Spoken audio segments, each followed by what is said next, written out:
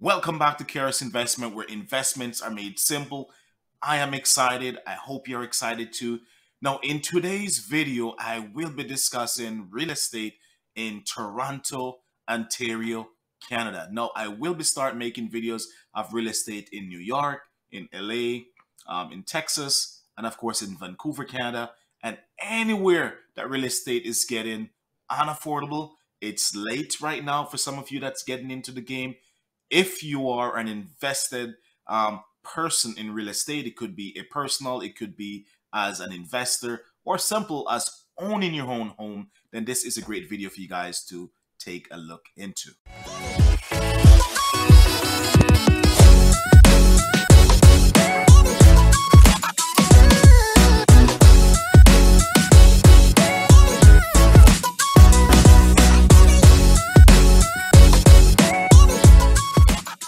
Welcome back. Of course, my name is Ken, entrepreneur investor um, in the stock market, in real estate, and in small business. As I said time and time again, we talk about investing on this channel.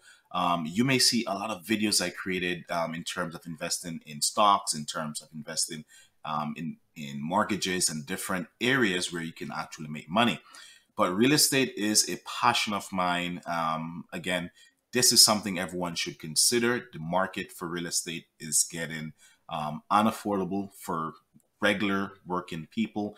Um, if you take a look at the age now for people that are moving from home to actually purchase a house in this market, it is absolutely um, crazy. Now, on my screen, this is realtor.ca. This is a common site that I use myself, what people use when they're looking to sell their house or if they're looking to buy or purchase a new house. It could be commercial or it could be for residential. There are a few other sites as well to purchase and buy a house. Um, in terms of through agents, agents could have um, deals that they can actually get houses um, from their brokerages, from different brokerages with their own networking as well.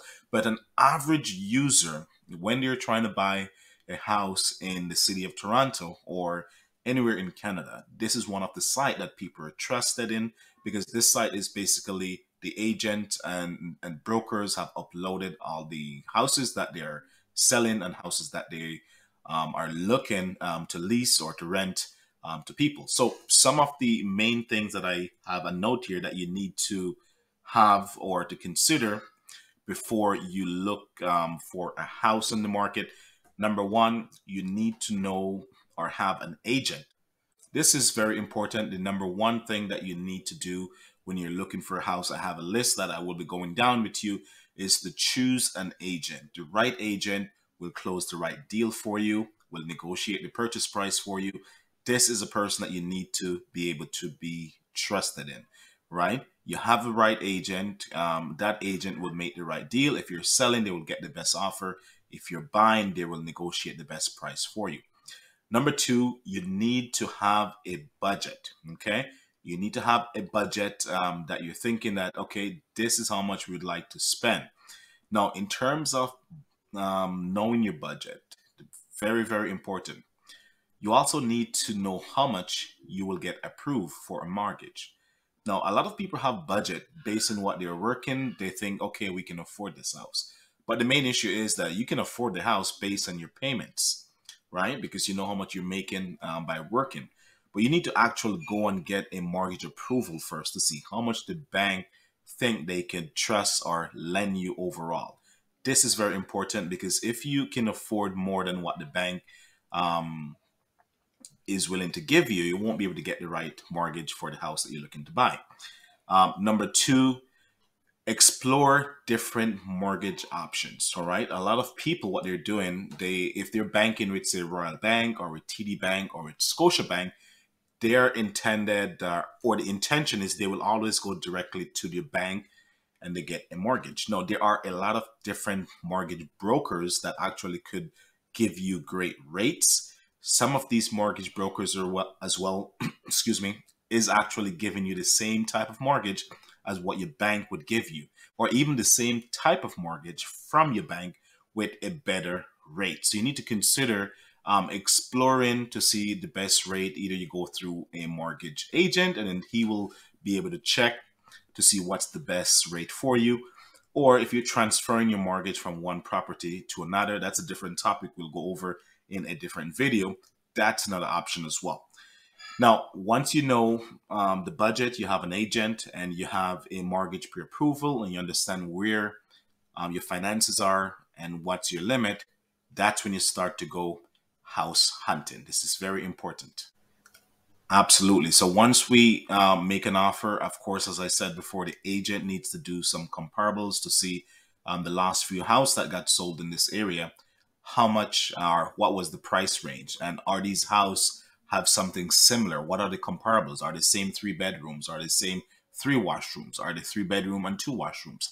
Um, there's different things to look into when you're doing um, the checklist to see um, why the price is different or why the price should be same as the house that you're looking for um, you or your client, whatever it is, right? So this is just something very basic. Um, I'm not into telling you how the agents do their job. I'm just giving you an idea uh, roughly of how they start to choose um, these houses. Now, keep in mind as well, the land size make a difference and make sure that you're um, aware of what the actual land tax will be for these houses as well. Now, next on the list is very, very important. Now, it is a crazy real estate market out there. So a lot of people, what they're doing right now is that because they want to get in on the auction to be able to um, get their offer accepted, what they're doing is they are um, submitting an offer on a house with um, no contingencies or no inspection. Make sure you don't fall into that trap. Now, if the house is fairly new, like in five years new, then that's a different story. Because typically a house that's five years new, then there shouldn't be anything wrong to be worried about. But if you're looking at a house that's 20, 25 years old, then you got to consider roof, you got to consider electrical, you got to um, uh, consider mold, consider um, are there uh, water leaks or a basement cracking. Like, there's a lot of things that you need to look into. So I don't want to sound too uh, negative, but based on experience, those are things that you need to look for and things that you should keep in mind because it will cost you um, in the long run. Now, once this is finished, then the next step, obviously, once you make an offer, once they accept the offer, if they don't accept the offer, then obviously it's a different house you will have to um, search for. But if the seller accept the offer and then you get an inspection done, inspection came through, now you go to, you know, you send all the paperwork to your lawyer, and, and lawyer deal with the uh, the land title transfer um, taxes. They're looking to if there's any liens on the house. They're looking to if there's any back bills, whether it's water bills, whether it's tax, whether it's anything that's assigned to your house. If there's a lien on your house, if someone didn't pay, um, if they owe like a big outstanding bill, someone could actually place a lien on the house, like a creditor if there's a lien on the house and if your lawyer don't do a proper check and then the house gets sold to you then that could be another problem that lies in your hand. So these are some of the things that you need to look into in real estate. Now obviously you got to make sure the utilities as i said is paid up. You got to make sure um, your address is changed once you take over ownership.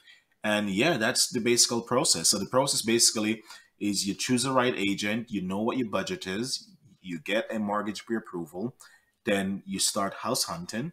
Once you find a house that you like, then you make an offer. Um, if they accept the offer, you do a home inspection. And once the home inspection is finished, then the deal is closed and you're happy. You take your keys and then you start living um, your life in your new house. That was extremely simple, right? Absolutely. Anyone could do it, guys. A lot of people make owning a house seems very difficult when it's not. It's actually a simple process. There is two issues for owning a house. Either you can get qualified or you're not qualified for the mortgage. This is what scare a lot of people. Now, what many people don't know is that there are a lot of different lenders out there that will lend for mortgages. You just got to find a very uh, like a reputable mortgage brokerage and they could help you to find your dream house. So it is possible for anyone that can um, that is working and have the money to own a house and live the dream as what anyone wants to. So again, until next time, I hope this video makes sense to you. I hope I'm speaking to someone that's wondering what the processes are.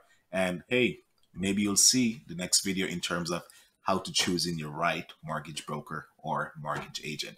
So again, guys, until next time.